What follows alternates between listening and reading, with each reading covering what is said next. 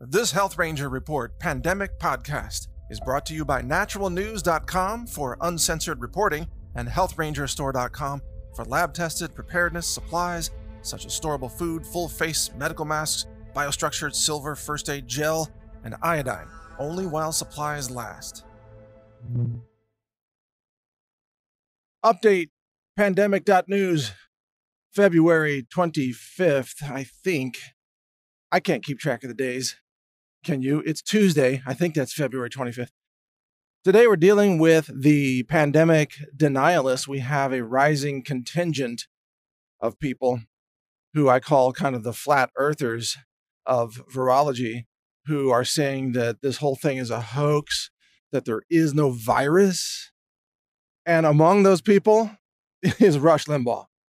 Yeah, Rush Limbaugh on his radio show yesterday said that this thing is just a flu and that it's being weaponized by the left wing media to attack President Trump. What? What? Rush? What? The same left wing media that is downplaying this entire thing and refusing to report that it's a pandemic? I, I don't I, where do, where to even begin. It's it's it's especially difficult given that Rush Limbaugh in his own way on the political scene is a is a patriot. He's a he cares about America. He's a thought leader in his space.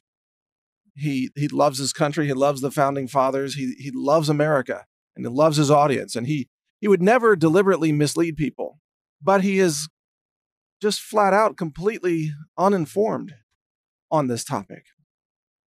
You know, there are very few people who can understand a lot about a very wide number of areas politics, economics, medicine, science, uh, history, and so on. Most people are specialists. And Rush Limbaugh is a specialist. He's a specialist in politics. And he's not a virologist. He doesn't understand epidemiology. He he did not even graduate from community college. You know, I'm not not trying to insult the man. He's brilliant in his own way, and he he's a he's an incredible patriot. But he's not. I mean, understanding this requires some academic background. Uh, this is why I can talk about this with credibility because I, I own a laboratory. I work in a lab. I run mass spec instruments. I, I'm the founder of it. I'm a published scientist in a peer reviewed journal. I'm the author of a number one best selling science book called Food Forensics. And even though I'm not a virologist, and I don't claim to be, at least I can talk about concepts of science. I understand exponential growth. I understand what R naught values mean. I can do the math. I've been mathematically gifted, I suppose you could say, since I was a child. They actually had me in the gifted and talented program at the same time that I was on the varsity football team, which confused everybody. My fellow football players would ask me, like, like, what do you do on the on the math club team? Like, you just sit around and do math? And then when I'm in the math club and we had math competitions, I kid you not, where we would take a bus ride to other school districts and we would compete in math contests in, in a giant indoor arena. And more often than not, I won first place. Not all the time, but a, lot of the time. And the math club people were like, What do you do in the football team? You just like you just like run around and play football. And so I I was in these two different worlds, and neither world could understand the other world. And I find myself the reason I mention that is because today, the way I I operate in society today is kind of the same thing. I can talk with a group of scientists. I can talk about epidemiology and virology, uh, genetic engineering. I can talk about organic chemistry. I can talk about uh, mass spec analysis. But then I can also go over to the political people and I can talk about politics and the Constitution and the Bill of Rights and the history of the United States and the founding fathers and the body politic. And I understand those two things, but often those groups don't understand each other. So once again, for some reason, I end up being a person who can traverse these these different areas and kind of explain at least the big picture uh, in both areas. I'm I'm I'm not I'm not the absolute expert in any one area, but I'm someone who has competency in a wide variety of areas. And sadly, Rush Limbaugh is not one of those people. And so Rush is an expert in his area. He doesn't understand health, which is why, by the way, he's going, un- he's probably undergoing chemotherapy right now for his lung cancer. I pray for him. I hope he's okay. But I also know where these things go. Again, because I'm informed, like you. You know, the minute Rush Limbaugh goes under chemotherapy, sadly, he's going to have permanent brain damage, permanent kidney damage, permanent heart damage, and he's probably not going to be with us very long, sad to say, because he, he is a treasure for this country in his own way. But it just goes to show you you can have experts in one area who are oblivious in another. You can have a brain surgeon who doesn't know the ingredients in a hot dog. And you try to explain to the brain surgeon, who, who's obviously a smart individual. I mean, he or she is a brain surgeon. And you say, well, that hot dog contains sodium nitrite. And the sodium nitrite when it combines with the hydrochloric acid in your stomach, it forms a class of compounds called nitrosamines that are very potent cancer causing chemicals that cause colon cancer and leukemia and bone cancer and brain tumors. And they will say, What? No, that can't be true. No, the FDA wouldn't allow that ingredient if that were true. You see, because they're a brain surgeon, they can explain to you, oh, this is the hippocampus. You know, they can they can talk about this is the frontal lobe. These are the blood vessels that, that provide fuel to the brain. And they know all that stuff, but they don't know what's in a hot dog. So you have a brain surgeon that saves somebody's life, removes some giant brain tumor or something, and then on lunch eats a cancer causing hot dog. Because most people are specialists, not generalists. Most people don't know what they're talking about the minute they get outside their area of, of experience. You know, same thing, rocket scientists, we say. What is that guy, a rocket scientist? It means is he's some super genius person. Yeah. I know rocket scientists. Actual rocket scientists. And rocket scientists are brilliant in, in physics. Some of them have backgrounds in mechanical engineering or aeronautical engineering. They are very, very smart people. But most of them know nothing about nutrition. So yeah, you can be a rocket scientist. You could you could send a rocket and put it into orbit around Mars because you understand the acceleration of gravity, orbital velocity, all these things.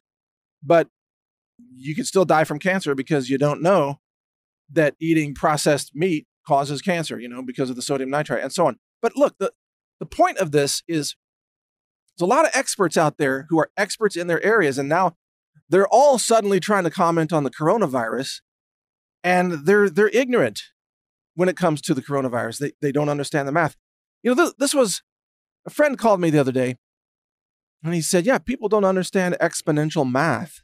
like, you're telling me. he said, he said, look, if I asked you, if I said this, there's a petri dish and, and bacteria in the petri dish uh, double their number every minute. And the petri dish is 100% full at minute 60. Remember, the, the, the population doubles every minute, and it's 100% full at minute 60. And then he said, At what minute, this is the question, at what minute is the Petri dish halfway full? And I said, Well, of course, 59. Of course, it's 59 minutes because it doubles every minute. He said, Yeah, you know that. Nobody else knows that. I'm like, What do you mean nobody else knows that? People don't know that minute 59 is when it's halfway full? He's like, No, the average person thinks it's 30 minutes. And I'm shaking my head like, what do you mean? You just explained that it's an exponential growth. It doubles every minute. How could they not know minute 59, it's halfway full? He said, because people don't do math. People like Rush Limbaugh, sadly, uh, he's not a math guy. He's a good guy. I'm not trying to insult him. I don't mean any ill will at all. I pray for Rush. He's, he doesn't understand math. He doesn't understand the exponential spread. And then the harm, or at least the potential for harm, comes when you've got people like Rush or other denialists who start to comment on this as if they know everything. I mean, Rush on his show says that he's 99.8% accurate. I don't know if that's just like a satire gag or something. I don't think anybody's 99.8% accurate. I'm not 99.8% accurate. I try to be 100%, but nobody's that close to 100%. You know, we're doing well to be 95% accurate in, in when we start making these predictions about long term, you know, where the numbers are going to be three months down the road. no one can be 99.8% accurate, and Rush certainly isn't, sadly. Uh, not about this issue. He's out there saying it's just the flu. What he's doing is he's discouraging people from taking this seriously. And if you're not taking this seriously, then you're not going to understand that that hey, maybe you should cover your mouth when you cough, maybe you shouldn't shake hands with people at church anymore. You know, stop all this close contact stuff because we're in the middle of a pandemic and this woman in South Korea, she she spread it to 900 people now, I think, because she went to church. I guess they hug a lot there or something, but hey, it spreads through the air too. But I don't think Rush even understands that. A lot of other people don't understand it. So you have all these denialists who are saying it's fake.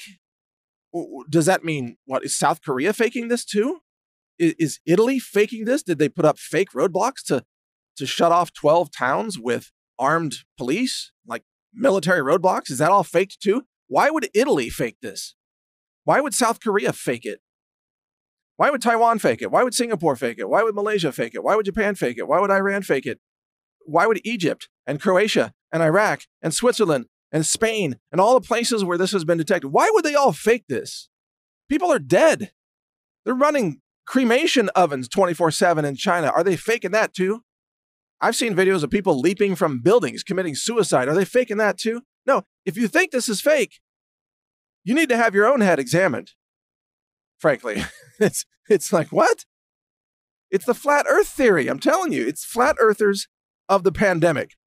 And some people think the Earth is flat. And there's a, there's a guy named Mad Mike Hughes. He's a rocket scientist. He built a rocket and he put himself in it. He built like a steam engine rocket. Pretty smart guy, actually, in terms of the mechanics and everything. Well, he launched himself from the rocket and and he died. Which, by the way, tends to happen a lot with home built rockets. Just telling you, just sharing that little factoid there. If you build a rocket yourself, don't sit in it. But he he said he's going to launch himself up to high altitude so he could see that the earth is flat. Well, imagine his surprise.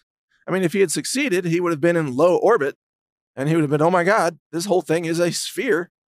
But he didn't make it. The parachute sadly came off at launch and he ended up in well, really a a, a gravity assisted uh, plunge back to the earth because gravity is real. Uh, he he was able to confirm that, sadly, with his own death. And flat earthers don't believe in gravity, by the way. They they think it's something else. I don't know, like magnetism or something. Who knows? But he's dead. He's dead. I'm sad for his death, by the way. I'm not mocking him. I'm I'm I, I admire anybody who's willing to take a big leap. I guess in his case, literally. But I mean, really, pe- people who who ask the big questions want to explore the universe. We should all be more like or have his uh, inspiration, let's say, even if his conclusion was wrong, his his his motivation was pure. His ideas may have reached the wrong conclusion, but he he at least went for it, man. Go for it. Instead of sitting around on the couch all day letting the TV tell you what's real, go do something real. Yeah, he's dead, but better than living like a zombie, sleepwalking through life, watching CNN. So, you know, kudos to, to Mad Mike Hughes. Sorry to see him go. Just a reminder about parachutes.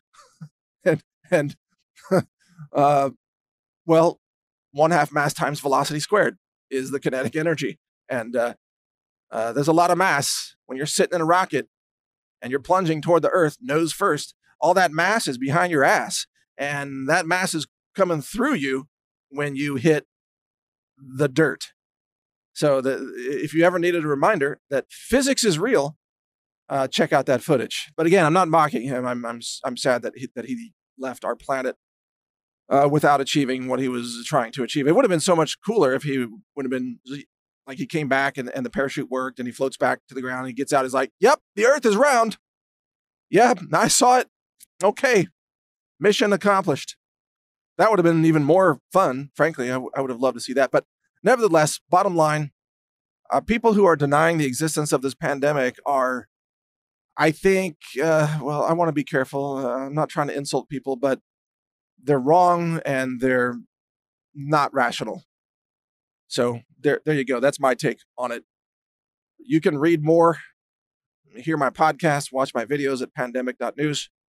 Mike Adams here. Stay informed, follow my work, and I'll help you stay alive for real. Because we're not going to sit in rockets and launch ourselves into sort of low orbit or attempted low orbit. We're going to help you stay safe on the ground and survive this thing because it's it's going global. Thanks for listening. When it comes to prepping, you not only need good products that can help keep you alive, awake, aware, and nourished during difficult times, you also need products you can trust. At the Health Ranger store, we do extensive laboratory testing using an in house lab that's ISO accredited. It's inspected, it's audited. It's a two year process to even get that accreditation. We use multiple mass spec instruments, state of the art science, I'm a published science author as well and a patent holder on several technologies, some of which we use variations of in our lab. The purpose of this lab is to help you make sure you get clean foods, superfoods, storable foods for emergency preparedness and survival use. We have a certified organic lab tested, what's called Ranger Bucket collection of storable foods with some survival gear in the buckets to help you even boil water and cook those foods and so on. It's a, a fantastic product. We can barely keep it in stock even during normal times. In a crisis, we'll be wiped out of this product because it actually takes us a lot of time to make those products. But if they're in stock, you can get them now at healthrangerstore.com slash prep with Mike. In fact, go to that URL, healthrangerstore.com slash prep with Mike, and you'll see some of our survival and preparedness supplies, including iodine, colloidal silver products and gel first aid products, storable foods, superfoods, medicinal herbs for first aid, and much more. We have a lot of products for you to help you be self reliant, to be safe, to survive difficult circumstances, natural disasters, and all kinds of things. If you want to get prepared, do it with us at the Health Ranger store so that you know you're getting safe, clean, laboratory verified preparedness foods, supplements, and other related products. Again, the URL is healthrangerstore.com forward slash prep with Mike. All one word, no spaces. Prep with Mike. I'm Mike Adams. Thank you for your support. Thank you for watching. If you want to support our mission, visit us at healthrangerstore.com for the world's largest selection of lab verified superfood and nutritional products for healthy living. It's at healthrangerstore.com.